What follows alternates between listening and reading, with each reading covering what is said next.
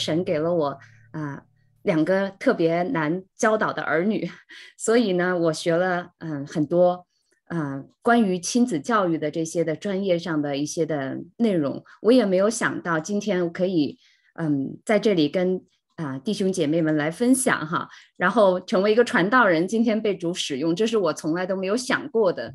那我今天呢要跟大家分享的主题呢是青少年父母的自我修炼哈。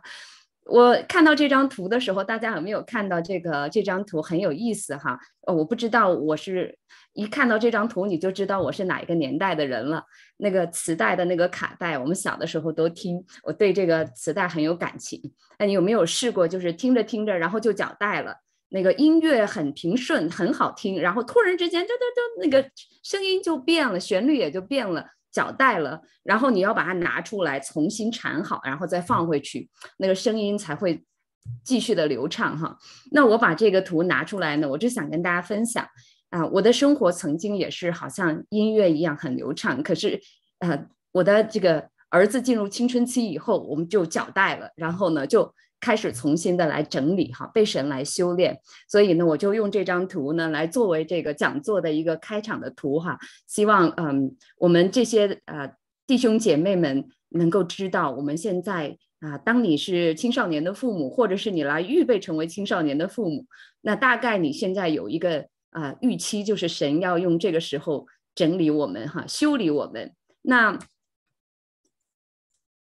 修炼哈，当我把这个这个海报那个我们的海报一出来的时候，就有一个弟兄就给我打电话，他就说：“哎，丽娜，你用‘修炼’这两个字，别人会不会误会？”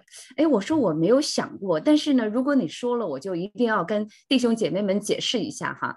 修炼这个词呢，就是修整的修哈，练练习的练，修炼两两个字在中文当中，那指的呢就是修心练身，使身体更加坚韧强壮。可是呢。我用的这个“修炼”两个字呢，是取自于圣经的话语，一句在“凡属我不结果子的枝子，它就剪去；凡结果子的，它就修理干净，使枝子结果子更多。”那神，如果你在养育孩子的过程当中，特别是带领青少年，你遇到挑战、遇到挑战、遇到难题，嗯，在这个时候，你就应该感谢赞美神，因为啊，真的是神透过这个我们的儿女。让我们发现自己在属灵生命上，自己在这个生命的成熟上有很多需要被修剪的地方。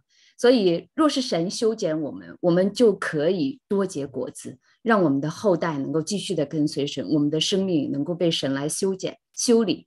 那第二段经文呢，就是在这个啊，这个在这个旧约当中，他说：“我要使这三分之一金火熬炼他们。”啊，如熬炼银子，试炼他们如试炼金子。他们必求告我的名，我必应允他们。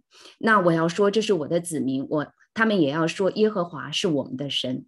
当我们看到这两节经文的时候，我不知道你会不会觉得，哇，这个啊，上帝怎么会这样哈？但是呢，嗯，如果我们这些弟兄姐妹在这个信仰的路上是一直跟随神，你就会发现。当我们愿意认真跟随神的时候，神就会修剪我们、熬炼我们，让我们更像他。所以，嗯，有的时候是借着一些在职场上的，或者是婚姻关系，有时候有一些弟兄姐妹是借着儿子、孩儿女的这些挑战。那我呢，就是在这个啊孩子养育的过程当中，神就借着我的孩子进入青春期，然后。神就借着我遇到的这些挑战来修炼我，来熬炼我哈。所以呢，我要把“修炼”这两个字跟弟兄姐妹们解释一下。那今天呢，这个所有讲座的内容也会围绕着“修炼”二字进行下去。那啊，我们嗯，正主呢，这三年吧，我们举办了嗯，大概二三十场的这个父母的讲座哈。那每一期父母成长课程呢，都有很多的嗯青少年的父母来参加。那问到就是说，父母你最担心的是什么？当你的孩子在青春期，或者是将要进入青春期，你最担心的事情是什么？那统计下来呢，大部分的父母哈，几乎百分之九十以上的父母，他们最担心的就是和青少年无话可谈，或者更严重一点，形同陌路，或者是背逆反叛。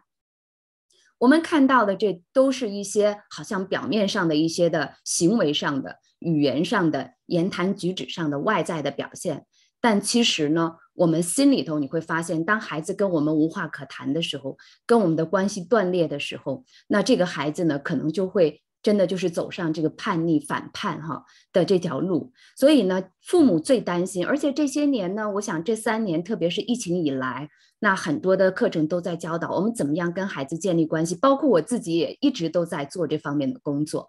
那在这个过程当中呢，我们跟父母来交流，怎么样去恢复跟青少年的关系？那这里面呢，就是啊，我们父母最担希望能够解决我们父母最担心的问题。那你有没有想？你有不想知道哈？如果我们父母担心的是这个的话，那青少年最不喜欢什么样的父母？呃，青少年呢？据统计哈，青少年最不喜欢的父母呢，就是排序有四，就是排序这个啊，这个排序其实挺长的。那我挑出来前面四种四呃四个嗯最就是打得分最高的。第一个呢，就是经常发怒的父母亲。第二个呢，就是消极思想和情绪；第三个就是烦人的唠叨；第四个就是行为举止不成熟。就说青少年呢，他们最不喜欢这样的父母。嗨，讲到这儿的时候，我就要问问大家：你中招了几个？你哪哪一个的表现你会有哈？嗯，这是青少年最不喜欢的父母亲。所以有的时候呢，我就看到这两个调查，大家有没有发现？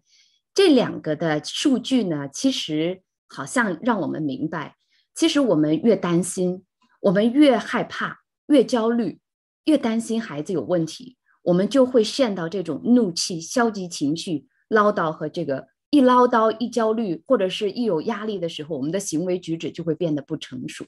所以，我们我们心里担心的事情就越容易发现，就越越容易发生哈。所以大家看到这两个调查呢？啊，我知道哈，嗯这很真实，也确实是我们现在带领青少年年那个面临的挑战。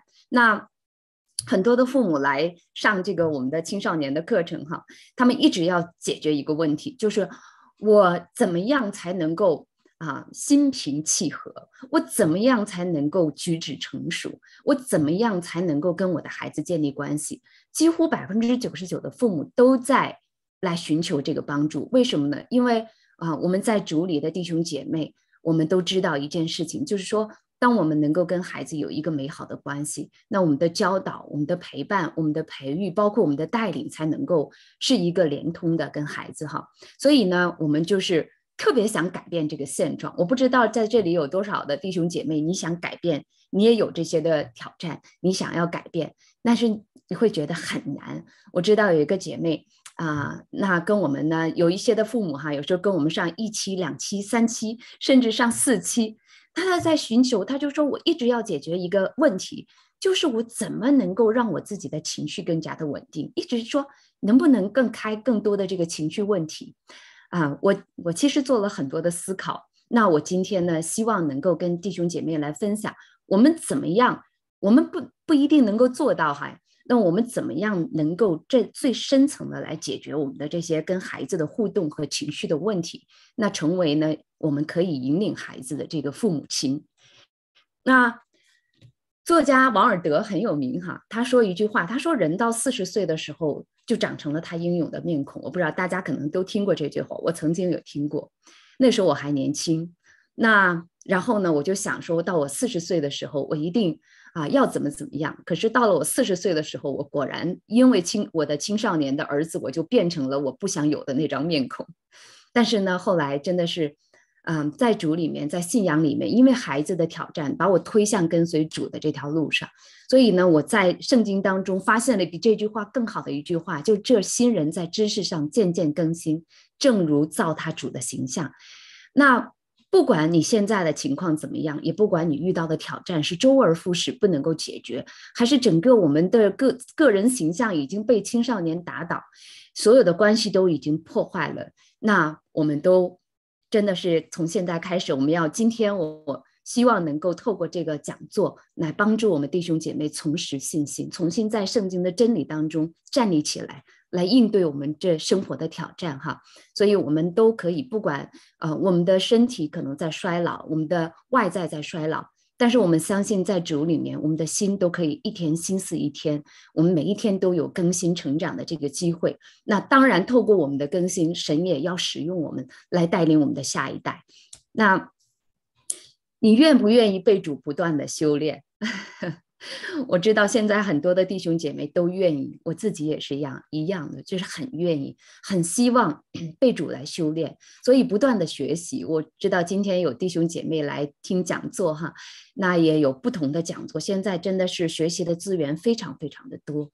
那在这个过程当中，我们不但要听，我们不断要学，也不断要练，还要被主不断的修剪哈。这个修和练呢，都是更深层的。那我今天呢，会从三个层面来跟大家分享。如果你真的想要改变，彻底改变我们现在的这些举止言谈跟孩子的互动，那真正的改变呢，要从三个层面。第一个层面呢，就是真理，就是这个核心。我们的举止言谈，就是由我们所认识的真理来决定的。我们的真理来决定我们怎么样看孩子、看青少年给我们带来的挑战。那这些视角改变的时候，我们的举止言谈就会发生变化哈。因为圣经应许我们，神应许我们说，你们将认识真理，真理会使你们得自由。所以我们在圣经的真理里面来寻求神给我们的自由，真正的自由。那我们呢，今天的分享呢，是先从内修，从里面神来修剪我们哈。神若修剪我们，我们就可以结果子更多。在啊，我们青少年的父母的课程当中，几乎百分之百的呃基督徒的父母亲，他们最在养育青少年的这个过程当中，最期待的一件事情是什么？你们猜？